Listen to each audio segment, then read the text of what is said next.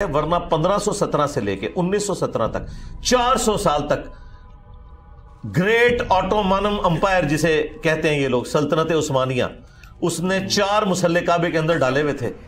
उस वक्त जो गोरा मुसलमान होके काबे में पहुँचता होगा तो वो नहीं पूछता होगा यार मैं किस इमाम के पीछे नमाज़ पढ़ूं? अल्लाह ताला ने इनकी कमर तोड़ी सऊदी हुकूमत आई उन्होंने चारों मुसल्ले उड़वा दिए। अब एक इमाम वहाँ खड़ा होता है। हम तो खुद इसी के तो खिलाफ खड़े हुए हैं। ये इस्लाम की बदनामी करवा रहे हैं ये गैर मुस्लिमों को इस्लाम की तरफ़ आने नहीं दे रहे। हम गैर मुस्लिम को कहेंगे आपके पास कोई नॉन मुस्लिम आता है कि जी मैं इस्लाम को स्टडी करना चाहता हूँ। जी जी। तो आप उसे कहेंगे ये मेरी किताब है कुरान पढ़ो। हम यही कहते हैं। हम उलमा के साथ तो जोड़ेंगे नहीं। हम कहेंगे कि जिस शख्स की तालीमात है हम तक पहुँची हुई उसकी कबर मदीने में है। ज़िंदा किसी बंदे को लेना है तो ये हमें बताया ही नहीं हमारे पैगंबर ने। हमारे पैगंबर ने कब बताया है कि हजतुल विदा के मौका पर कि मेरी वफात के 1400 साल बाद